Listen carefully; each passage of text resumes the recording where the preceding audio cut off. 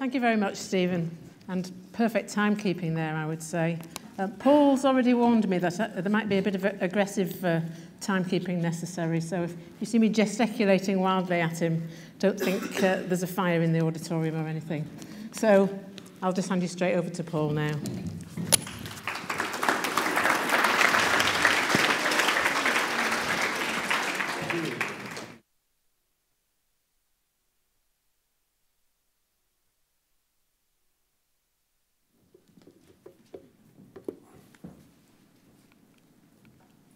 Wrong way, sorry. Other way, okay, right.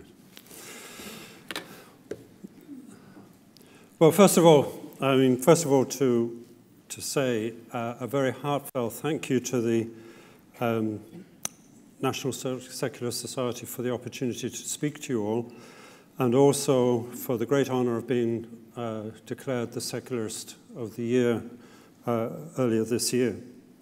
I'd like to formally compliment the, the Society on its advocacy work, and in particular, its uh, focus on the issue of uh, the, the, legal requirement for a, a, um, a, daily act of compulsory collective, mainly Christian worship in all state-funded schools. Um, uh, I think this is a really important issue for all educators, and I really congratulate the, the Society for for, for identifying it. In terms of this, this talk, I'd like to just cover three areas. Um, firstly, I think it's probably important to tell you briefly the story of Educate Together um, and it, its experience over the past 40 years in Ireland. Um, I won't go into great detail. The paper I'll leave with the Society will go into the intricacies of the, the Irish state-funded public system in more detail. Secondly, I'd like to explore somewhat of, of what I think are the fundamental concepts upon which teachers and educators can and should be basing policy and practice. And lastly, I'd like to just raise with you some issues which I think have become obligations for teachers and educators in the world today. So to get started, uh, for those of you who don't know about Educate Together, Educate Together is um, an organization that was started 40 years ago by a small group of young parents and teachers who got together at school gates and around kitchen tables in a suburb of, of Dublin to create a new model of primary uh, education, which was fundamentally equality based. Ireland at the time was a society dominated by clerical authority, uh, and its education system was staunchly conservative. Ireland was a country that was becoming increasingly traumatized by the political conflict and violence in Northern Ireland, and that was a conflict which was rapidly taking on a, a horrific, awful, and increasingly religiously sectarian nature. Um, the Irish state-funded primary education system was universally faith-based. All public funded schools had a religious ethos, either Protestant or Catholic. Uh, rights of parents to absent their children from religious instruction in schools had been effectively ran, uh, uh, rendered ineffective. The parents of the Educate Together founding group were determined to provide something better for their children. They wanted an education which would be free from religious indoctrination, was modern and innovative, and would enable children from all backgrounds to grow confident in an atmosphere of respect and equality. They adopted the name Educate Together. The, the, the, the model of primary education they created was, faced, was based on four fundamental legal principles. And one of the great assets of this, this group was that they very clearly defined uh, the legal basis on which they would proceed. First of all, and the prime directive was equality of access and esteem to children irrespective of their social, cultural, or religious backgrounds. Secondly, that the pedagogy and curriculum will be based on the real-time educational needs of the children and not restricted by a predefined national curriculum, and that the school will be managed in a child-centered way, placing the best interests of the child at the center of all school policy. Thirdly, that the schools will be coeducational and committed to encouraging all children to explore the full range of their abilities, irrespective of role stereotyping, either of gender, sexuality, or of any other social role. And lastly, that the schools would be run as far as possible as participatory democracies, in which the voice of students, parents, and staff have power in decision making. And this would model active citizenship and systematically embrace the role of the family and the community in the learning process. From very small beginnings, with a small school, um, this is the original document, um, in a small school, um, uh, uh, this movement fought to be able to exist and to demonstrate that it is possible to operate a successful school on the basis of principles of human rights and equality. The odds stacked against it were just enormous. It took vast amounts of voluntary effort and fundraising to become the established movement that it is today. Nowadays, Educate Together is an educational social enterprise and a popular movement. It is independent, not for profit, and has charitable status. It operates a rapidly growing national network of 81 primary and, and nine secondary schools. All its schools are state funded, or I should really say state underfunded, and and, and non-fee charging. Its unique characteristics are the clarity of its legal definition and its education, its ethical education curriculum. This is called the Learn Together Ethical Education Curriculum at primary level, which is now covered in all colleges of primary teacher education and has been recognized by the EU as an example of best practice in intercultural education. In recent years, um, this sort of gives you an idea of the type of campaigning that went on. Um, that's our national parliament, and that's actually representatives of every single major political party in support of our campaign to open our first second level school. And this is the, uh, this is the scope of our network as it was, uh, sorry, as it was last week. There's, there's, there's nine more last week. Um, in recent years, has Educate Together uh, uh, has become the education model of choice for a rapidly increasing number of families. Since the turn of the century, it has opened 72 new schools, and just this week it has opened five new secondary and four new primary schools. It is providing a human rights and equality-based alternative to an overwhelming monopoly of faith-based education in which Still, in 21st century democratic state in the developed world, you could describe it as an ex-colonial, the, the, the, the, the, the, the one example of an ex-colonial state within the developed world. 97% uh, of primary schools remained owned and controlled by religious bodies. 93% of those Catholic and 5% Protestant. And in nine out of 10 areas of the country, a parent has no choice at all but to send to their child to a school that is legally obliged to promote and prefer a specific religious denomination throughout the entire school program.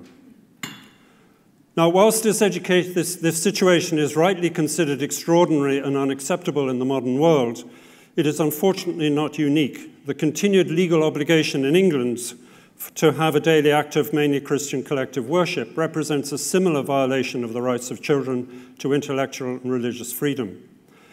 However, I'm sure as you appreciate, this presents a profound human rights challenge to parents and teachers in Ireland. It affects a rapidly increasing number of young parents who are astounded to encounter this when setting about choosing a school for their children. And as a result, a number of campaigns have emerged over the past year, and these are building on the tremendous success of last year's uh, you know, historic marriage equality referendum.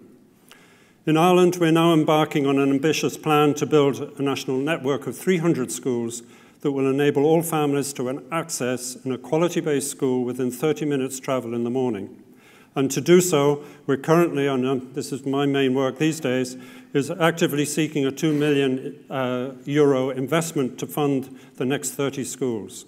Our projections will show that with this support, we will rapidly approach a tipping point that will generate a self-sustaining momentum of system change which conclusively resolve this human rights deficit in Irish education.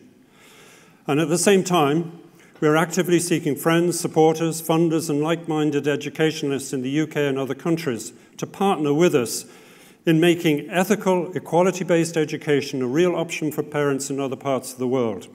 And in this regard, as Stephen's just mentioned, we have opened our first school in the UK in Bristol. We will open two more next year, and we are very open to cooperation with other human rights based schools and educationalists and other initiatives in, in the UK. So that's, that's where we are in, in Educate Together. Now, I'd like to talk about some fundamental issues around education and why it's so important to assert a proper relationship between the rights of the individual and the individual learner and the obligations of a system. And I hope you can agree with me on three starting axioms. Now, the first one is that human ability is scattered roughly equally across all people in the world, irrespective of wealth, ethnicity, race, or cultural background. I think it is true to say that all those who have tried to prove the opposite over the past centuries, sometimes to justify discrimination on racial or ethnic grounds, have repeatedly been proven wrong. The second is that the scope of human ability is not finite. That is, that no teacher, no curriculum, no system or model can set limits to the extent of the progress of an individual child or learner. And the third one, which I'm sure you can agree with me on, is that no child chooses their parents. No child chooses their skin color. No child chooses their ethnicity. No child chooses any part of their genetic makeup. No child chooses their home language or the features or the, or the features of their birth culture. No child chooses their family's religious viewpoint. And no child chooses whether they are to be born into a world of wealth or a world of social deprivation. Following from these, I think it shows that modern education must start from a fundamental obligation to respect and cherish the rights of the individual child, and an education system must have its, as its core objective to draw out this ability, this ability that is by definition untapped and unknown. Now, I'm making this argument from a systemic point of view, but I'm making it also from a straightforward moral and ethical view, which I think is fully, uh, fully uh, supported by hard, that, the, these hard scientific axioms. But I'm also making this from the point of view of economics and social economics. A simple review of the performance of education systems shows that if they're to be efficient, the social profile of those entering the system should be roughly equal to the social profile of those exiting it, it at whatever stage. Now, all the evidence I know about the uh, education systems in the world is education systems are demonstrably inefficient on this regard. And what does this mean? In short, cultural barriers within the system are preventing its efficiency, and society is almost by definition failing to benefit from a very significant part of its human and its breadth of its human capital. So, how do we create a learning environment that encapsulates a modern education and respect for, for human rights? Educate Together's experience is that, firstly, school, schools must start from a legal and public commitment to equality of access and esteem. This must be more than a mission statement on the wall. It must be binding. It must also be lived out in the daily life of a school and upheld in practice uh, by staff and management. In Ireland, we are lucky that, we, that there is now no statutory obstacle in, to implementing this. In the UK, the current exemption from equality legislation for compulsory worship in schools is a real difficulty. Secondly, a school must create a safe space in which children can explore difficult moral and ethical questions and inter interrogate different, different ideological and theoretical perspectives. These spaces must go beyond simple accommodation or tolerance and must facilitate kind, respectful, friendly engagement with ideas and attitudes. This is a critical multicultural approach which, when practiced fully, enables children to develop real understanding of different viewpoints, to learn to appreciate issues wearing another person's shoes, to develop real skills of collaboration which produces young people who are confident and comfortable living and working with people of widely differing backgrounds and family histories. Thirdly, a school must have a real values proposition and a curriculum to deliver it. Secularists in education must have a values proposition. Discourse around human rights, sustainability, and equality does provide a rich space of shared ethics and morality. This more than adequately fills the so called ethical vacuum which is alleged by supporters of faith based schooling and education systems, uh, which would be created if the faith element allegedly would be taken away. Over the years, Educate Together has developed a primary level edu ethical education curriculum called the Learn Together curriculum. As I said, um, it has been tested over many years against a real multiplicity of viewpoints in our schools in Ireland. We, uh, just by, by reality of economics, we operate some of the, the most massively multicultural schools in the country. It is taught each day and its values permeate the whole school program. It takes its fundamental standpoint essentially from the, the values of the Universal Declaration of Human Rights. It has four strands moral and spiritual development, Equality and Justice, Belief Systems, which is a rich program of intercultural studies, which includes non theistic, atheist, humanistic, and agnostic viewpoints, and Ethics and the Environment. Which this, this embraces the objectives of education for sustainability. The key to the success of this curriculum lies in its negotiation and implementation at local levels. Schools are challenged to implement its core values and its education philosophy. So, lastly, I wanted to try and engage with you that this generation of children entering our schools this year is unique. In most countries of the world, about half of them will see the 22nd century. About half of the girls in schools today will live beyond 100 years old. The indications are that this generation will be as lively and productive in their, in their 80s as we expect to be in our 60s. The next 80 years or so are likely to be one of the most exciting in human history. This generation in schools today will be encountering, encountering unprecedented rates of technological, social, geographical, and economic change. Just look back at the last 40 years and consider what has utterly changed our working and recreational lives mobile phones, the power of personal devices, the ease of transport, and the movement of people, the ease of instant, cheap communications to almost any part of the world.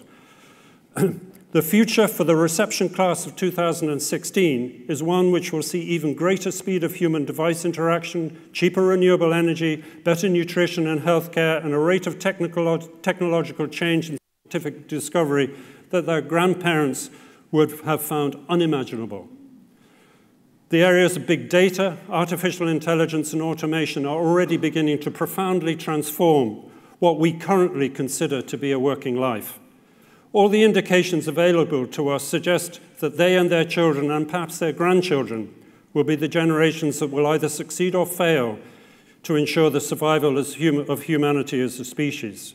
So, this generation of school children must be empowered to solve the issues of economic, social, and environmental sustainability as people, as families, as communities, countries, and as part of a multiple of, uh, of multiple global communities.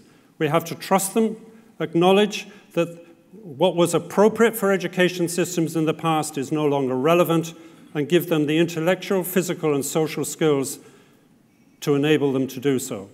This question of ethical education, an educational approach that is confident to uphold the universal values of equality, respect for difference, respect for the intellectual and religious freedoms of the, of the individual, is really important in today's world. It's not neutral or unbiased. It, sh it should stand firm and proudly uphold these as fundamental values. It should reject intolerance, racism, xenophobia, and all those who seek to curtail intellectual and religious freedoms. It should bring forward a generation of children who are sure of their own identity and confident to enter civic spaces and global spaces in which they can dialogue constructively with those who disagree with them, but to do so with respect and kindness. If we can achieve that, then we are at least providing this generation with some of the key skills that they will need to resolve the history which we will bequeath them. So I think I've run out of, the rest is on, uh, in the paper. But thank you very much for the opportunity to just raise some of these issues with you, and I'm looking forward to the discussion.